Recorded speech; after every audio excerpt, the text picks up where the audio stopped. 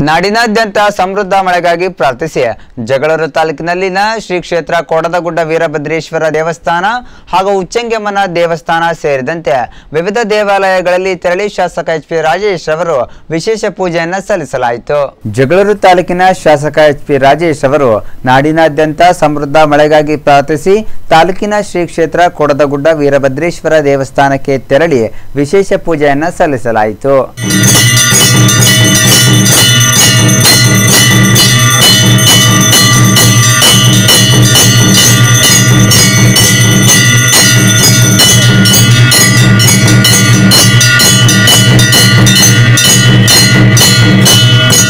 ಇನ್ನು ನಾಡದೇವತೆ ಉಚ್ಚಂಗಿ ದುರ್ಗದ ಉಚ್ಚಂಗಮ್ಮನ ಪಾದಗಟ್ಟಿಗೆ ಭೇಟಿ ನೀಡಿ ಮಳೆ ಬೆಳೆ ಚೆನ್ನಾಗಿ ಆಗಲಿ ಎಂದು ವಿಶೇಷ ಪೂಜೆಯನ್ನ ನೆರವೇರಿಸಿದರು.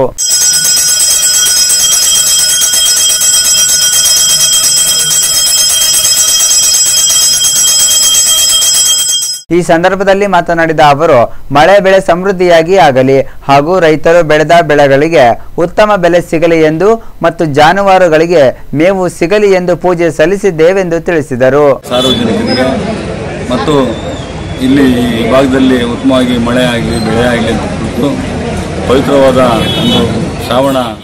ಈ ವೇಳೆ ಕಾಂಗ್ರೆಸ್ನ ಪಕ್ಷದ ಮುಖಂಡರು ಜನಪ್ರತಿನಿಧಿಗಳು ಕಾರ್ಯಕರ್ತರು ಈ ಪೂಜೆಯಲ್ಲಿ ಪಾಲ್ಗೊಂಡಿದ್ದರು.